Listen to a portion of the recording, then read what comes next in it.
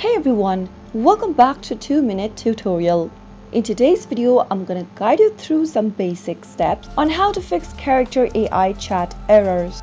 If you're trying to make a chat with the character AI bot and you are not being able to do so, then there might be several reasons for that. Simply keep watching the video till the end and don't forget to subscribe to our channel by hitting that subscribe button press the notification bell so that you'll never miss another upcoming upload from us. The first thing to do whenever you are going through the chat issue on Character AI is to check your internet connectivity. Make sure that your device is connected to a proper internet connection that's stable. Then only you'll be able to make your chat with the Character AI bot. You can also try switching between a different Wi-Fi and after connecting, wait for a few minutes and then open up your web browser and log into your Character AI account and start by creating a chat with a bot. If the problem still persists, you'll need to update your internet browser. From your web browser, go to the top right corner and click the three dots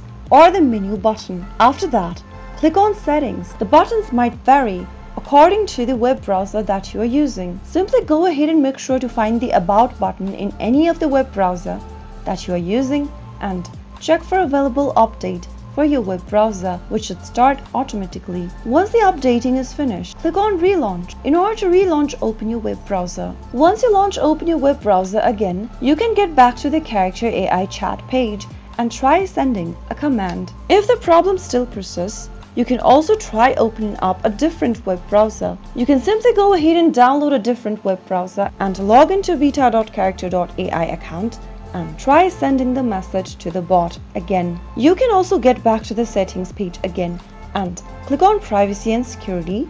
Look for the tab where it says clear browsing data and make sure to clear your browser's cache. To clear your browser's cache, check the browsing history and cached images and files option. If you want to clear out your cookies and other site data too, make sure to check this cookies and other site data option. But Checking this box will sign you out of most of the sites that you are already logged in with this web browser. If you remember your password and you are okay to do so, check all of these three boxes under Basic and select your time range from the drop-down at the top and click on Clear Data. Once you clear out the browser's cache and data, you might be able to fix the issue. Simply go back to the Character AI chatbot and try sending a message. Those were some of the easiest fixes and the most basic fixes which might help you fixing character AI chat errors. I hope the tutorial was helpful to you.